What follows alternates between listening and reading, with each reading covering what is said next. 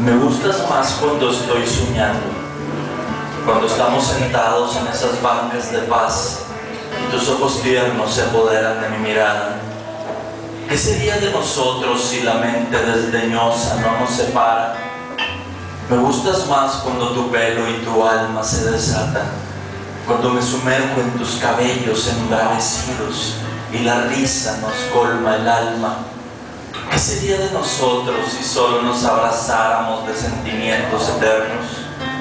Me gustas más cuando respiras junto a mí, cuando te quedas recostada en mi pecho después de volverte loca y el espacio se hace nuestro y los temores se ausentan.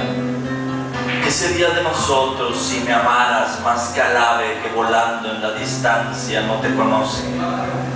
Me gustas más cuando tienes el rojo carmesí, porque tus labios son más dulces y sensibles, tu sonrisa más fresca, tus caricias más deseosas. ¿Qué sería de nosotros si en la batalla solo se derramara sangre de amor?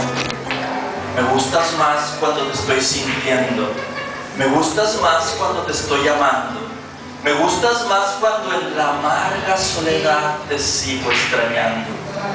¿Qué sería de nosotros si al final, en una suave caricia, olvidando todos los desdenes y las egolatrías, me dijeras, te amo más que al ave, te amo más que a mi pensamiento, te amo simplemente porque te amo. Bravo.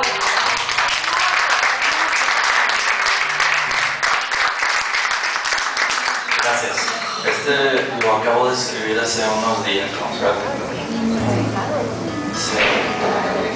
¿Ves esas montañas? Quisiera callar todos los ruidos, escuchar el estruendo de la luz penetrando la piedra, el día, oírte cantar con tus ojos, tocar las palabras silenciosas, llenarme de la luz detrás de tu oído. Está lloviendo. Quisiera adivinar tus pensamientos. Hay algo de ti en esa olla de café. Quizá caminaste descalza por la tierra. Ojalá y la lluvia te cuente algo de mí. Me gusta comerme las tapas del pan y tu sonrisa.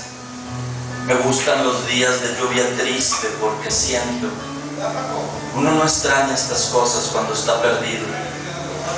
No para de llover. Sigo atento, escuchando. Bravo.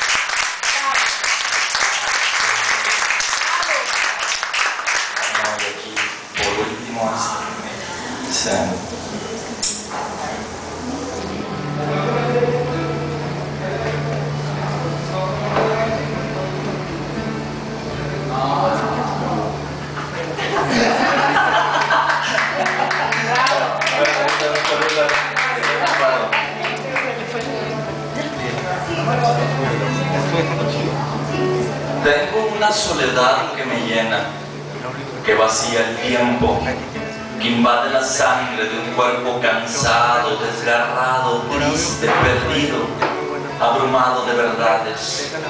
Tengo una soledad que me llega cada momento, en todos los rincones, entre las multitudes, rodeado de mis gentes, me ensordece ante el ruido incesante, ante voces nuevas, rostros llenos de ganas.